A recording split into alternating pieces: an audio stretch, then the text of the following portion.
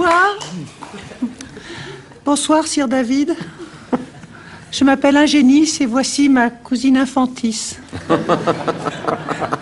Nous venons de Lorraine, une région qui devrait vous plaire. Oui, on y trouve énormément de mineurs. Nous sommes deux nymphètes à l'aube de l'âge ingrat.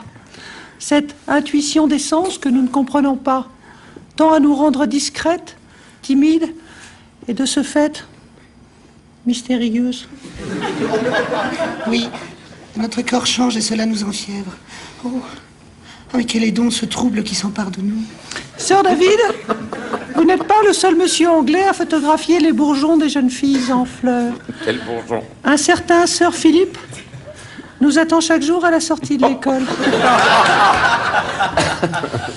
Invariablement, il ouvre son imperméable et nous dit Regardez le gros sucre d'orge que j'ai pour vous, formidable. Oui, il est à peu près de cette taille-là. Tenez d'ailleurs, je vous propose de regarder cette photo. Oui, c'est lui.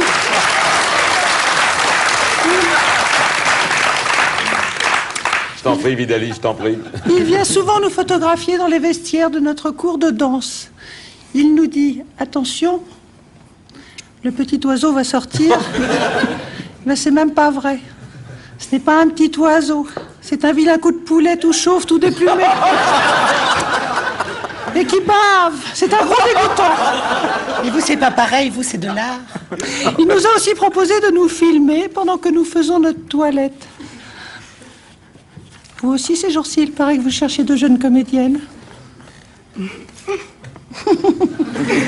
C'est pas pareil parce que c'est de l'art. Euh.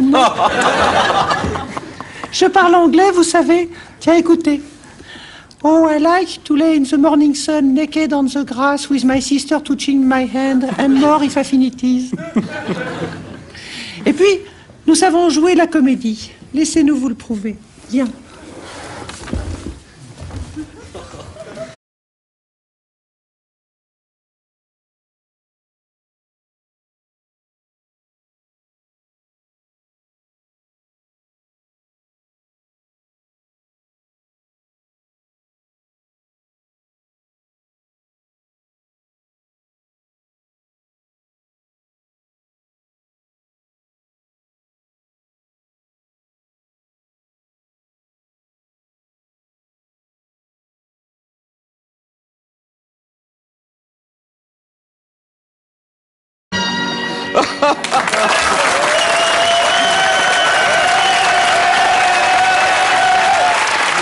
Voilà, vous cherchez pour Billy Kiss, mon amour.